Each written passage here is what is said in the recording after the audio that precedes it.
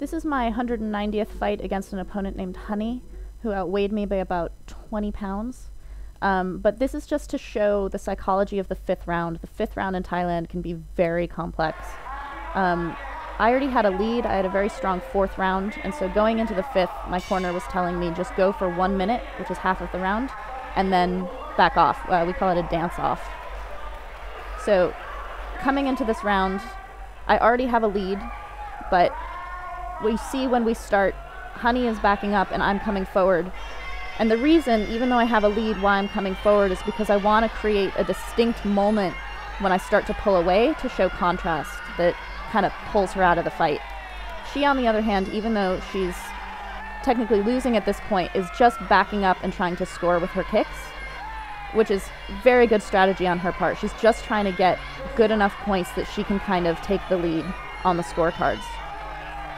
So as I'm coming forward, the important thing is to kind of uh, tire her out and keep blocking her kicks. I'm trying to cut her off a little bit. Here she misses a kick twice. And so I have kind of a dominant moment. So I look to my corner because I could potentially start to pull away there. But they told me to keep going. So I'm still chasing her down in order to try to get a very dominant moment that will be the defining time that I can start my pull away. So I get her in the ropes and almost near in the face. My corner saying, that's good. I feel like that's good her corner, if you look at them, they're telling her to dance off, which is a little bit crazy, but if she stays away like I'm already in the lead, she can kind of pretend like she has this fight.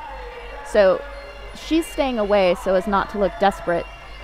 And I'm staying away because I'm like, I already have this fight. So I need to keep doing this. If I started to creep forward, it would be me thinking I don't have the lead. So I have to stay back and just kind of like burn the time.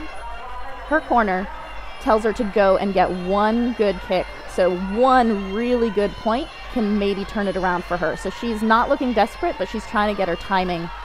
I just have to check everything. That doesn't count. I blocked that. So I'm basically trying to block out all of her scores, and she keeps checking with her corner whether it's okay for her to uh, give up at this point. They keep telling her to come in, so she comes in and tries to get this last score. I'm just keeping and off balancing her I put her down for a second and it is done. So I just have to keep performing. This is, you're out of the game. She looks at her corner and they're like, yeah, that's good. so she played it beautifully as a losing fighter. She fought that fifth round perfectly.